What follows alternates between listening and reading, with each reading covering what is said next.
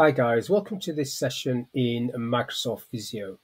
In this module, I want to show you how you can use the timeline template. So I'm on the home screen and you can see there I've got a timeline template. I'm going to open that one and then just create a blank one. So when you get the timeline template on the screen, the stencils down the left, you've got two quick shapes and timeline shapes. We've also got on the ribbon a timeline tab, which you can utilize. So first of all, let's get a simple timeline on there. So you've got this one, block, line, and then cylinder. So I want that. Quite like that. Comes up with this little box asking for the time frame that you want to use. So this is going from the or 3rd of October to the 3rd of April. So it's a six months timeline. You can change the duration into wherever you want, time frame, and you can change the format if you so wish. But I'm going to leave it like that for this demonstration. Clicking OK to that, you get your timeline with some dates on it. If I right click on this little timeline, I can add an arrowhead at the end or the beginning, wherever you want it, but I'm going to put it at the end like so. We're going that way. And then you've got tools here that you can utilize. Um, it's totally up to you. It's the same as all other templates is you drag and drop whatever you want on there. So let's go for some tasks. You've got some curly brackets there. I'll just drag them on. Snaps on there. And then you give it a title. So it's got an interval description there. So I'll call this one phase one phase one and you can change the duration of this if you so wish. Clicking OK to that. This little yellow circle allows you to change the direction of that like so. Well, that's easy enough. Phase one, let's do a little milestone marker. So you've got different types of milestones. I'll go for this one and call that end of phase one. End of phase one click OK to that and again you can move that up or down. Now there is a feature where you've got an extended timeline so you can bring that on. So it's extended. It's going to be like a an expanded part of this. So it's going from the 5th of October to the 18th of Feb. Let's come back a bit. Let's come back to December so it's not such a great let's go to the 31st of December. Let's put that on there so you see how it snaps out. So both of those tasks are on there. This one probably needs to come down because it's in the way a little bit. So I pull that other one down. Now if I do another curly bracket, it's totally up to you whether you change these or not. Normally you would have the thing the same, but if I go like that and put that outside of this timeline, I'll call that phase two. Phase two and I'll leave it sitting on top like that. So you can see how, how that works. This is just expanding here. So if I put something there, I'll put a, I'll just do a different type of thing there. You've got, um, let's go for, what can we go? Block interval. So you've got the curly, I'll put it inside there. I'll call this review and then click OK to that. So that mirrors there because it's within inside that expanded bit. You can see that.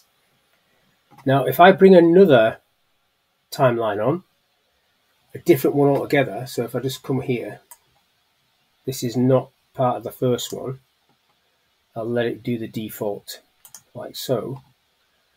What you've got here is the ability to do a synchronized shape, either with a block or a curly brackets or a timeline or a milestone. Uh, this is what you've got here. So at the top there, you've got milestones and intervals. So whichever you do, you can synchronize it. So I add a milestone. Let's just add a pin milestone to there. Okay. And then I synchronize that milestone with a different milestone it's going to come up with the different milestones. So it's coming up with that, end of phase one on the top one. I'll click OK to that, and you can see the date shifted back. So if I do the same with a block interval, so I'll get myself a block interval and just stick it there, click OK to that, and then click on synchronize. It comes up with the different options, and I'll click on that one. OK, and then that's synchronized with that. So you just created a second timeline, different timeline, but you're synchronizing some of the tasks that's on there. So it's up to you how you do that. Now you've also got a today marker. You can sit that on there. Put it on there, today. Now you can also put this one, elapsed time. I'll put that on that one. So that's the elapsed time indicator. That's the today indicator. So you can see how that works. Now if I go to home, click on one of these, I can change the color of this. So go orange and then change the color on this one. Green. Click on it first. Go green. And then click on this one, change that one as well. Different color like so. So you can totally colour, colour up the timelines. Now back up the top there, you've got some more information where you can export or import this information into Microsoft Project if you've got Project, which I do have. So what I want to do first of all is just get myself a second page and I'll go for import data. So I'll go import, I'll browse for the file, this is a project file, which I've got one in documents, timeline, open that. Next, next. It's picking up the blocked timeline that'll do. Next, finish. And then that'll drop that in and show you what that looks like. There's only a few tasks in project, so it shouldn't take too long. There you go. So that's straight from project.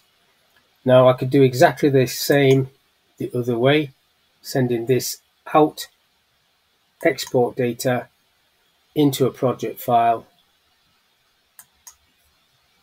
like so. So you can import project data and you can export to project from Visio. Okay, so if I go into documents, that's the exported file from Visio, drawing one. I didn't name it as anything, so I open that and then it will open up Microsoft Project. Obviously, this won't work if you haven't got Project installed. So those are the phases that I did. There you go. That's now the tasks in Project. So if I close that, come back to Visio,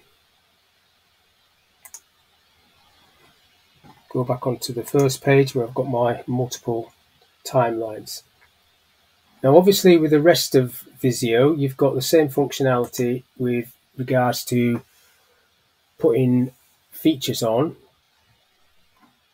So if I wanted to go to design, I can then change the actual layout of this. I'll go for that one. So that's quite nice. That stands out quite a lot. I quite like that one. You've also got the background feature, which you have for all the templates. Click on the world, uh, add the background. And you've also got the borders and titles that you can add to this as well. We'll just click on that. You can't actually get into that on here. You have to go into the background page and then just call it whatever you want. Just double click on that and type timeline It's totally up to you how you do that. That will come through onto page one.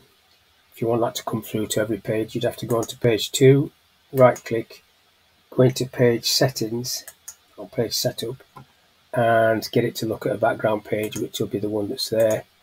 Click OK to that, and then that sucks through onto this page as well.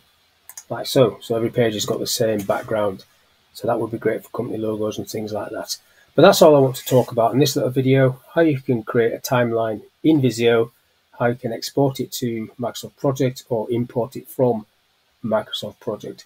So hopefully that information is of use. Thank you for your time and I'll catch you on the next one.